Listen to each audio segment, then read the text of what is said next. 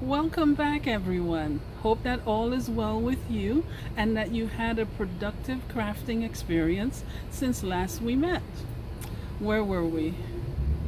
Between the last video and this one, there were five other videos that were recorded and the person who recorded them called me two days ago to tell me that the SD card is corrupted and the videos are gone. And so we must move on. I'm sure most of the content lost was about socks and there was even a dramatic moment when I discovered a broken needle. A needle unfortunately not given an honorable burial, but given an honorable mention. Now we will get back to socks, but first let's talk about hats. I've been bitten by the hat bug. Remember this? Well, actually you can't since the video where this was introduced is gone, gone, gone. My mom knitted the blue part of this hat and decided that she wanted a warmer hat. Rather than redo on smaller needles to make a tighter and therefore warmer hat, she wanted a lined hat.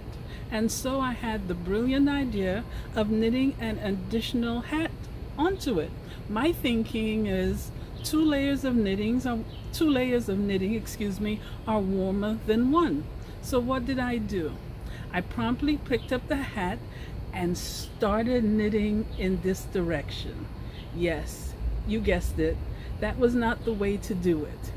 Yes it can be done that way but after all your knitting when you fold the hat down ta-da you have an open tube. You, you would have this an open tube that you must now find a cute way to close.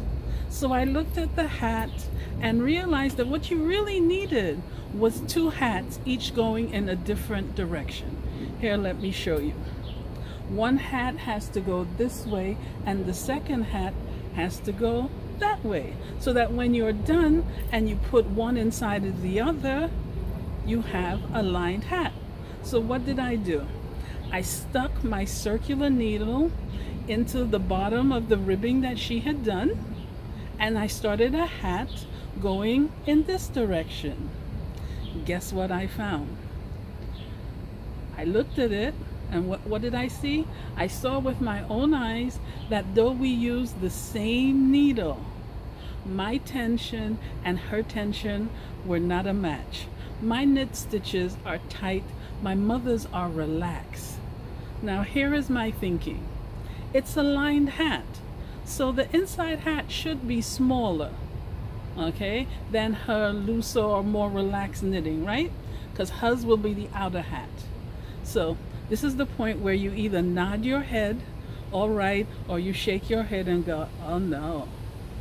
Well, after I finished my ribbing, I started the stockinette part of the hat and I still couldn't get the same, not even close to hers. I was like, did she use another needle? But she didn't because I'm the one who bought the needle. So what I did, I ran over to my flatbed knitting machine. It, the ribber was on it and I hung the hat on both the um, front bed and the back bed and I eyeballed the stitches and guessed the tension that the hat should be knitted at to see how close I could come. Boy, I can see folk going, you guess tension? Ooh, tension? Well, tension be damned. I guess right and I got it. Okay? When I put this hat that I have done into hers, it works beautifully.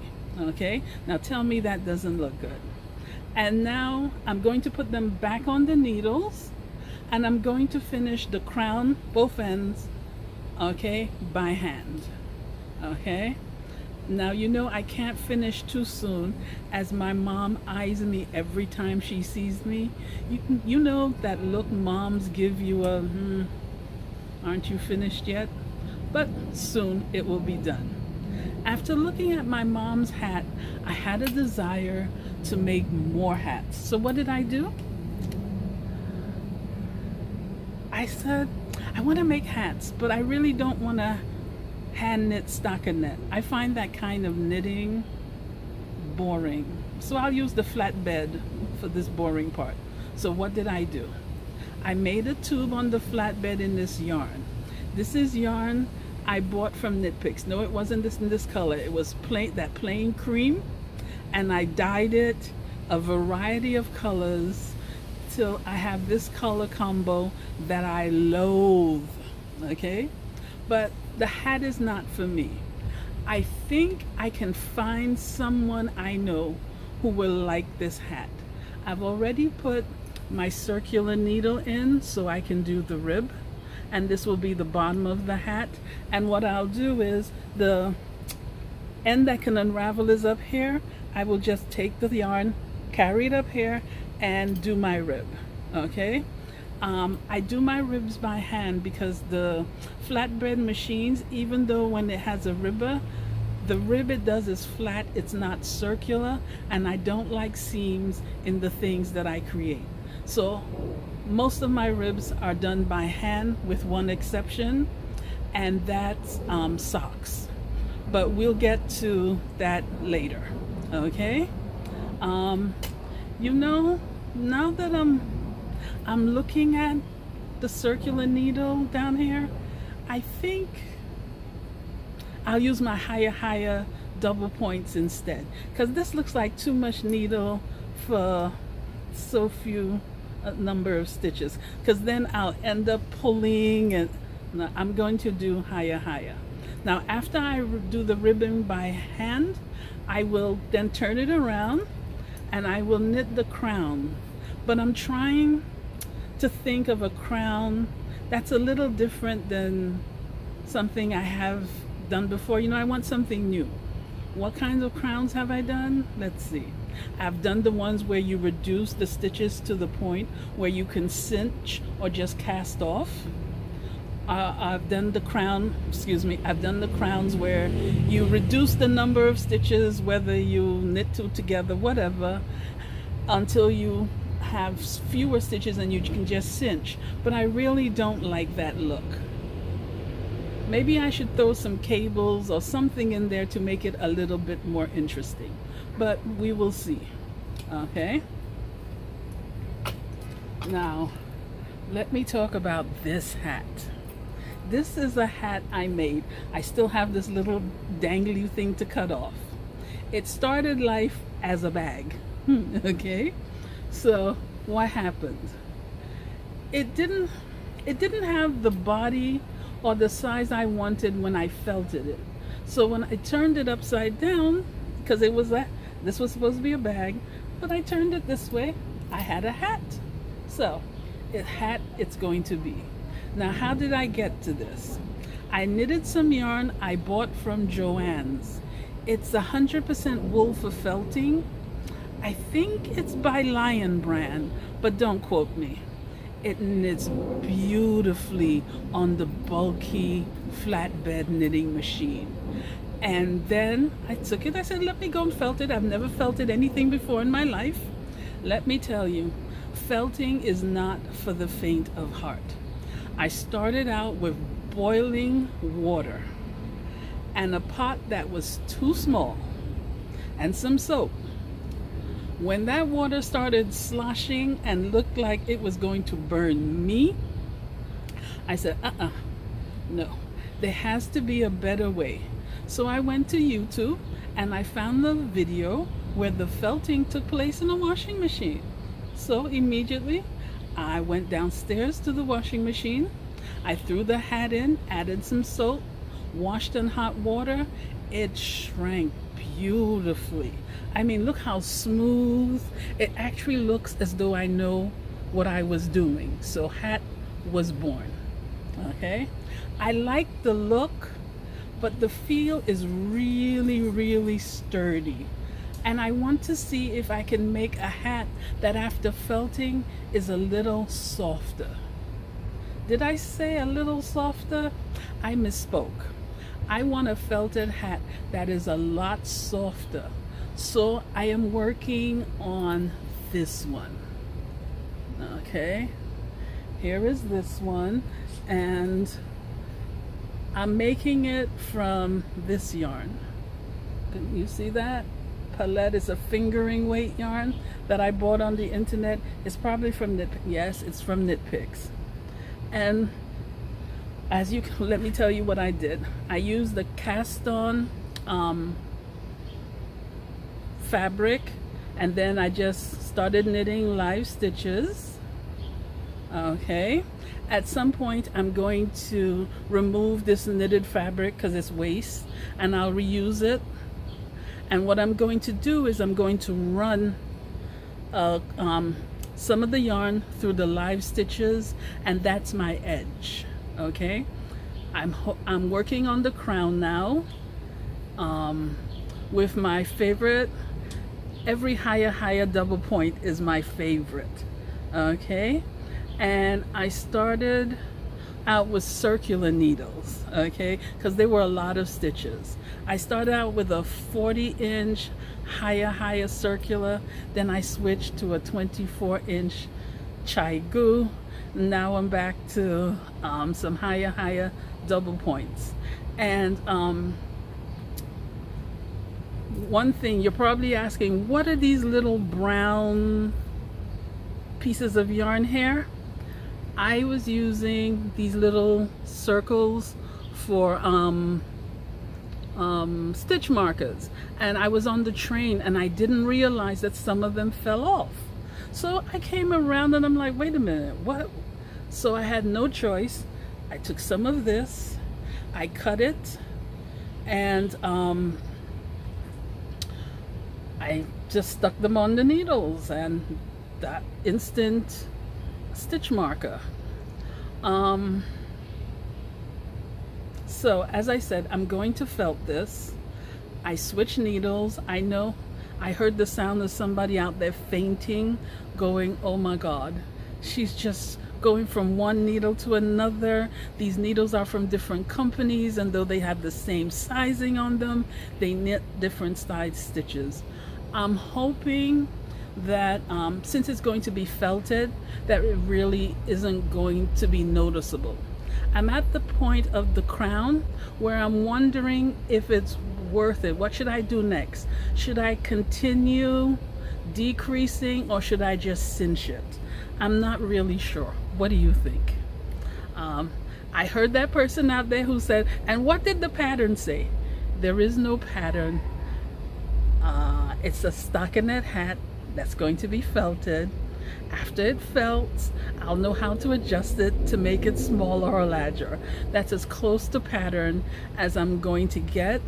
And with the size of my family, believe me, there is a head that this will fit once I've done felting. Okay? And is that all about felting? No. I knit this beret. I almost forgot okay? I have this beret and I was thinking of frogging it but I like the way the top looks. Look at it. It looks handmade. For a minute there I actually convinced myself I did this by hand. The swirl is very nice but now that I'm looking at it these are short rows on a knitting machine. Now I did the ribbing by hand and as you can see even though it's a was that a fingering weight yarn I did I'm a really tight knitter. But I'm thinking rather than frogging I'm going to finish this okay? I'm not sure how the ribbing will felt if it'll be too hard not hard enough. But I've done all this work so let's see and just pray that the rib will be as soft and and as flexible as I would like it to be. Now for all you felters out there, what do you think? Because I would, I could frog it, but I re I've put in so much work. Maybe it's worth it just to try. And if it doesn't work, I'll cut it up and make coasters or something. Okay? Now, that reminds me. I have a Baa-ble hat. I think that's the name. Remember the hat with all the little sheepies on them?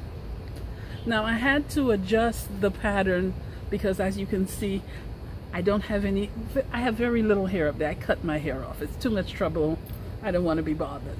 So I had to adjust and some of the sheep are a little bigger or smaller okay I started this in 2017 and I'm looking at it now and I actually finished the top looks nothing like the instructions that were online ah, I can't follow directions it just doesn't work I planned to wear this to Rhinebeck but that never happened hmm.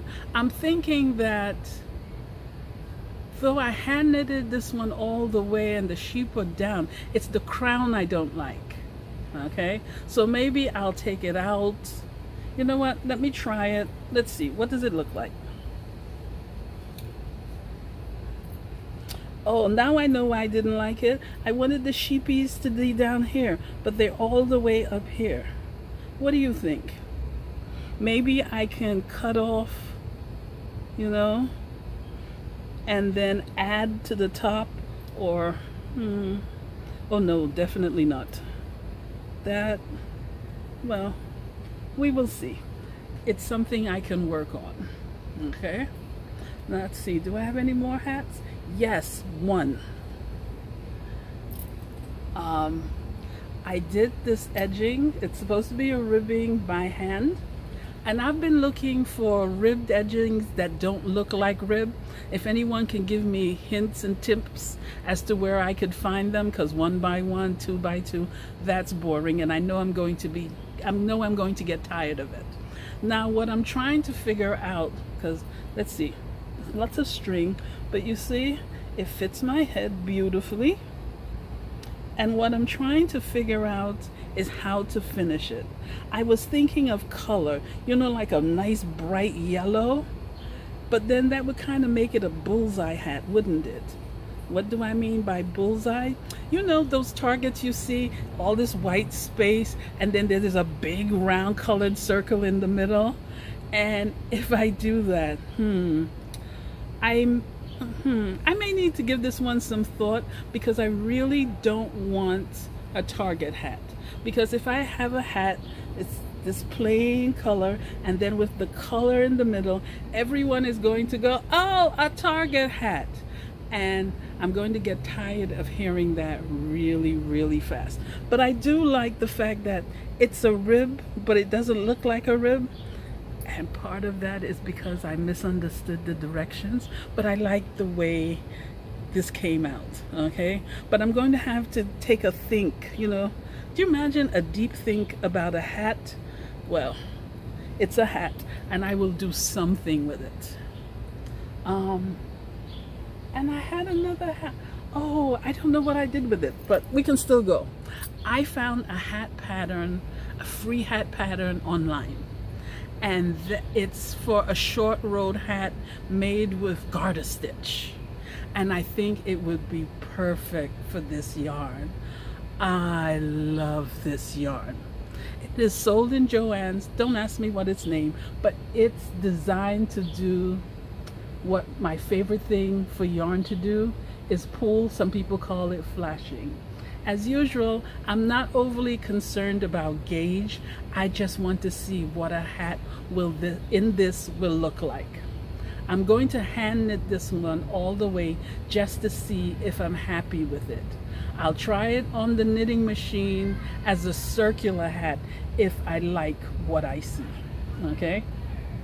Have you noticed the obsession with circular knitting? I never realized that I do not like seams in my knits. That's probably why I knit socks and why I rib by hand. Do I knit, do I knit socks completely by hand? Not for a long time. I have no clue what happened to the socks that I hand knit all the way, but it was nothing to brag about, okay? And as everyone in my family always needs socks and they're no way I can keep it by hand. I work on the machine. But I think I'm really, really going to enjoy this. Okay? So we'll get, I've started a little on socks. We'll get to socks in the next video. But hopefully by then, this will be on the needles because I love, look at the colors. Look at that. Oh my God. I love yarn that when you look at it, you need to put shades on in order to see it. But enough for today. Thank you for visiting with me, and I'll catch you next time. Bye.